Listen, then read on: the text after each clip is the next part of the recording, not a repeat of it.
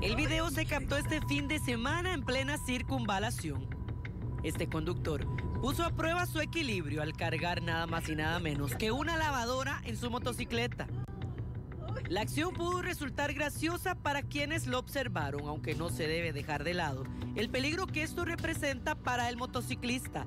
Con el tema de las cargas que se utilizan en los vehículos que no están adaptados o que no son de carga liviana o carga específicamente. Eh, pues el riesgo que se corre, en este caso en sí, como, como se vio en el video, eh, la motocicleta no es un vehículo que está adaptado para llevar un sobrepeso, eh, el cual le perjudica lo que es la estabilidad, la forma del frenado, la reacción, etc. Este caso no es aislado en las vías nacionales. Se han visto situaciones similares de todo tipo. Motociclistas cargando desde árboles de Navidad, colchones y hasta otra motocicleta.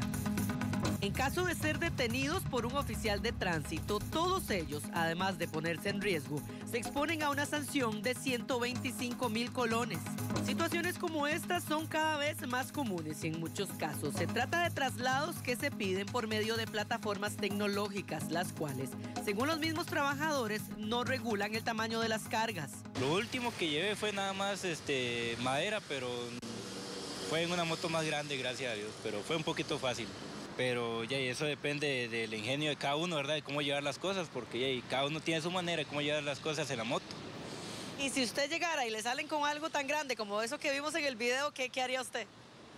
Ya, por mi parte yo lo rechazaría porque ya es muy peligroso por el equilibrio. Una vez me tocó eh, tratar de llevar un medio ropero y no sé a quién se le ocurre que en una moto vas a llevar una cosa de esas.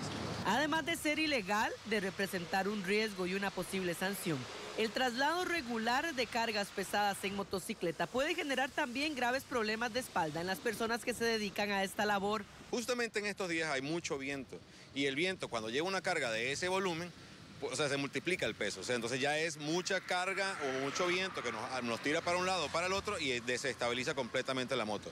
Pero no solamente eso, hablemos de las cuestas. Una carga de ese tipo en una cuesta puede hacer que la moto se vuelque. ¿sí? Eh, o en una frenada de emergencia, la moto se desestabiliza y también tenemos un vuelco. La sobrecarga es una peligrosa acción que se observa a diario y no solo en motocicletas.